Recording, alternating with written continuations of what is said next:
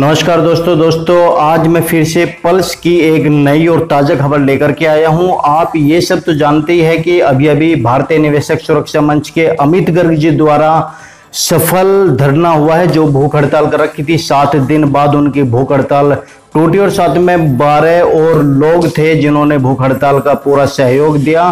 CO SDM और मंत्री जी ने आकर भूख हड़ताल तोड़वाई और उसके बाद आश्वासन दिया उनके पैसा देने के लिए। मगर आज की हम ताज़ा खबर में आपको बता देते हैं कि कानपुर में पल्स भवन माल रोड पर विकास त्रिपाठी जी के साथ भारतीय किसान यूनियन के कुछ पदाधिकारी आ रहे हैं, जो लखनऊ में 15 और 16 तारीख को एक महा आंदोलन करने की रणनीति के लिए विचार विमर्श कर रहे हैं, जो 11 बजे से शुरू हो जाएगी और 1 बजे तक ये मीटिंग चलेगी। हम आपको बता देते हैं कि 15 तारीख और 16 तारीख, यानी कि 15 और 16 सितंबर को, इसी महीने लखनऊ में आदित्यनाथ मुख्यमंत्री योगी जी का घेराव किया जाएगा और साथ में सेबी का घेराव किया जाएगा, जहाँ पर मांग की जाएगी अपना पल्स का पैसा और अन्य सभी चिट फंड कंपनियों का पैसा, जिसमें गरीब निवेशकों का, किसानों का पैसा फंसा हुआ है।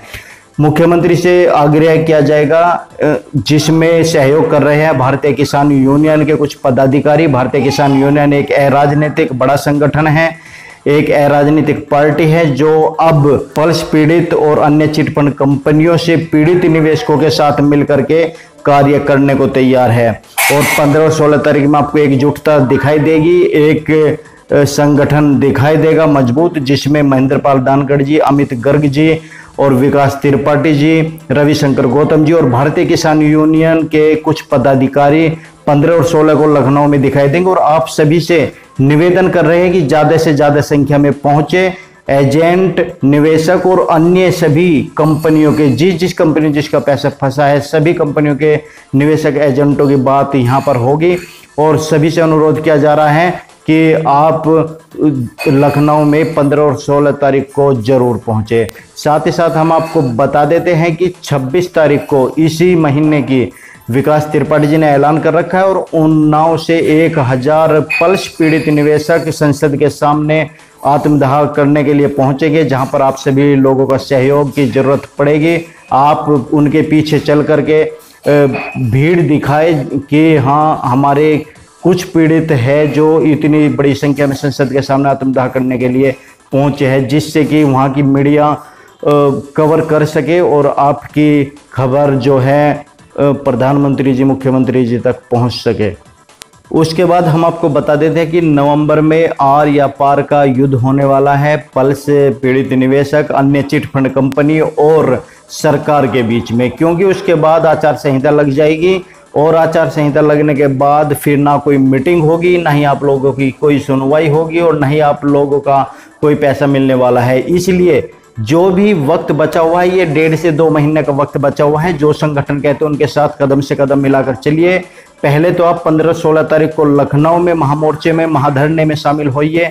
ज़्यादा से ज़्यादा संख्या अपनी दिखाइए, क्योंकि इस बार भारतीय किसान यूनियन आप लोगों का साथ दे रहा है और भारतीय किसान यूनियन कोई छोटा मोटा संगठन नहीं है। बहुत बड़ा संगठन है और बहुत बड़े बड़े मुद्दे सुलझाए हैं। तो इस बार भारतीय किसान यूनियन का साथ पल्स पीड़ित निवेशकों और अन्य सभी चिटफंड कंपनियों के निवेश को एजेंट और एम्स को देना पड़ेगा, जो बड़े एजेंट्स थे, ईएम थे, जो अन्य कंपनी के थे, जो विकास त्रिपाठी जी का साथ दे रहे हैं, उनसे अनुरोध कर रहे हैं कि आप सभी 15 और 16 तारीख को ज़्यादा से ज़्यादा संख्या में पहुंचिए। हम आपको पूरी डिटेल बता देंगे कि कहाँ पर पहुँचना है, क्या एड्रेस है। कल की वीडियो में अपना, हमारी वीडियो आप देखते रहिए कीजिए और कि अभी तक सेबी ने पच्चीस सौ रुपये का जो आवेदन लिया था और उसके सत्यापन के लिए जो डॉक्यूमेंट्स मंगाए थे अभी तक वह भी पूर्ति नहीं हो पाई है और से भी लेट लतीफ़ हो रहा है बार बार टाइम पास कर रहा है और उसके बाद हम आपको बताते हैं कि जो आर एम लोढ़ा जी के पास ऑफर्स आए थे, अभी तक आर एम लोढ़ा जी ने सुप्रीम कोर्ट में वे डॉक्यूमेंट्स भी जमा नहीं किए, कोई निर्णय नहीं लिया गया, जबकि बहुत अच्छे ऑफर्स आए थे, इकतालीस हज़ार करोड़ का एक साल में पैसे देने की बात की गई थी, मगर कोई भी committee R M Lodha ji हो या सेबी हो, कोई भी ध्यान नहीं दे रही है पीड़ितों के लिए। आप लोगों को स्वयं लड़ना पड़ेगा और संगठनों के साथ आपको चलना पड़ेगा, यदि आप लोगों को अपना पैसा चाहिए। यदि आप लोग अपनी मेहनत की कमाई को ऐसे ही छोड़ दोगे और अपने घरों से नहीं निकलोगे तो आप लोगों का पैसा बड़ा मुश्किल है। मिलना संगठन तो ज़ोर लगा रहे हैं, मगर उनके साथ में पीछे भीड़ भी नज़र आनी चाहिए कि हाँ इतने पल्स पीड़ित निवेशक है। सपोज़ कीजिए छह करोड़ के आसपास की संख्या में पल्स पीड़ित निवेशक है। अन्य चिट फंड कंपनियों में भी लाखों की संख्या में निवेशक है जो पीड़ित हैं। और यदि इनमें से मात्र एक करोड़ भी लखनऊ में उपस्थित हो जाए या आत्मदाह करने के लिए जब 26 सितंबर को विकास त्रिपाठी के साथ एक हज़ार लोग उन्नाव से चलेंगे, संसद के सामने आत्मदाह करने के लिए उस समय इकट्ठे हो जाए तो देखिए किस तरह मीडिया टूट कर पड़ती है और किस तरह से आपकी बात सरकार तक पहुँचती है और आप लोगों का पैसा किस तरीके से आचार संहिता लगने से पहले ही मिल जाएगा। मगर ये सब तभी होगा जब आप लोग अपने घरों से निकलकर संगठन का साथ देंगे। संगठन तो जी तोड़ कोशिश कर रहा है हर महीने कहीं ना कहीं कोई ना कोई संगठन आप लोगों के लिए लड़ता रहता है। अभी फिरोजाबाद में अमित गर्ग जी लड़े, भूख हड़ताल की, आप लोगों के लिए सात दिन तक भूखा रहे, मगर वहाँ पर कोई ज़्यादा निवेशकों की भीड़ देखने को नहीं मिली। ये दुख का विषय है। जिन गरीब निवेशकों के लिए संगठन लड़ रहे हैं, वे निवेशक ही अपने घरों से बाहर नहीं निकलते। उसके बाद महेंद्र पाल दानगढ़ जी है, लगातार कहीं ना कहीं धरना देते ही रहते हैं। उसके बाद पी लिमिटेड के रविशंकर गौतम जी है, जो लखनऊ में भी उपस्थित रहेंगे और हर जगह पल्स पीड़ित निवेशकों के लिए कहीं ना कहीं अर्धनगन होने के बाद सड़कों पर आप लोगों के लिए सरकार से लड़ते हैं, मगर फिर भी उनके पीछे बहुत कम भीड़ देखने को मिलती है। सबसे पहले तो आप लोगों को जागृत होना पड़ेगा, यदि आपको अपना पैसा चाहिए तो क्योंकि घर बैठे कमेंट्स करना आसान है। और पैसे के लिए लड़ने वालों का साथ देना बहुत मुश्किल है। आप लोग अपने घरों में डूब के बैठे रहते हो और फिर कमेंट्स करते हो वीडियो के ऊपर कि हमारा पैसा कम मिलेगा। इतने आपका पैसा नहीं मिल सकता, इतने आप लोग एकत्र होकर अपनी शक्ति नहीं दिखाओगे, अपनी जनशक्ति नहीं दिखाओगे। छः करोड़ निवेशक है और एक लाख निवेशक भी इकट्ठा नहीं हो पाते, ये दुख की बात है। इसका मतलब तो सीधा है कि संगठन बिना मतलब में ज़ोर लगा रहा है। जब आप लोगों को अपने पैसे की ज़रूरत ही नहीं है, यदि पैसे की ज़रूरत है तो 15 और 16 तारीख में लखनऊ में आप ज़्यादा से ज़्यादा संख्या दिखाइए। मुख्यमंत्री जी का घेराव है तो आप लोगों को आपका पैसा बहुत जल्द मिलेगा।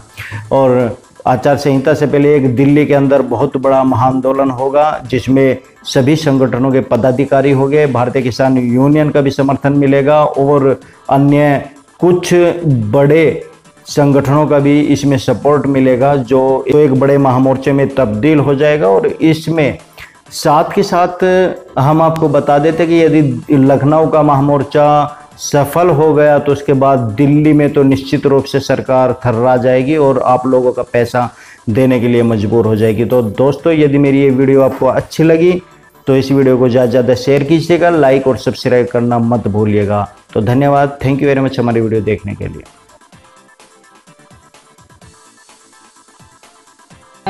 ये कौन सा वार्ड लगता है?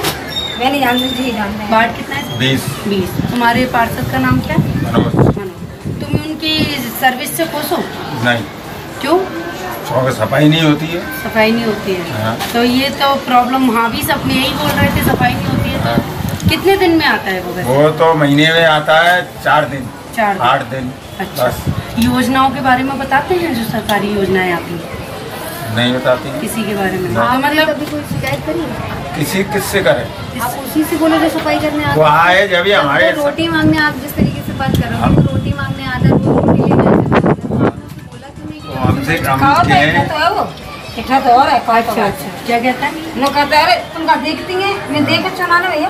अब आए हम तो ये कोई लगा नाम क्या है उसका जो सफ़ाई करने जाता नाम का है? उसका नाम तो वो नाम का है जी आप का पहले वो दूसरा तो अब जी दूसरा लगा यहाँ की व्यवस्था इतनी खराब है कि अगर कोई रिश्तेदार आ जाए ना एक बार आके दोबारा नहीं आता है। पास से लोन रिकॉर्डिंग बनाओ इतनी गंदगी रहती है कि कुछ हम तो पैसे हम तो यहाँ कहते हैं बीस देते हैं हम पचास देंगे तेरे को। पैसे भी देते हो? पैसे देते हैं? पैसे भी देते हैं रोटियाँ भी देते हैं। तो उसके बाद भी नहीं करते? उसके बाद भी सफ़ाई नहीं करता है। जो पार्षद है यहाँ पे आते हैं तुम लोगों के यहाँ? कभी कभी आते हैं तो वो क्या कहते हैं? कुछ नहीं करवा देंगे बच्चे कहते हैं अभी तक तो कुछ नहीं हुआ। बदल लगा के विधवा पेंशन वृद्धा पेंशन वगैरह इसके बारे में कोई इनका कुछ नहीं हुआ अभी तक साल डेढ़ साल से हो गए करीबन। अच्छा अच्छा। चलो तुम्हारा नाम क्या है? इधर आ जाओ। लक्ष्मण। क्या नाम है? सीमा। पानी पड़ेगा तुम अपने पार्षद से पूछो। गंदी है गंदगी है अब देखो तुम वो तो मैं देख रही हूँ गंदगी देख रही हूँ देखो। ये भी थोड़ा सा सिग्नल ये भी इज़्ज़त कर है भाई। बच्चे हैं? अच्छा। खुद करते हैं अपने हाथों से। बच्चे करना पड़ता है नहाने से पहले। क्या करें? नहाने से पहले करना पड़ता है क्या करें फिर? तो ये सफ़ाई कौन करते हैं?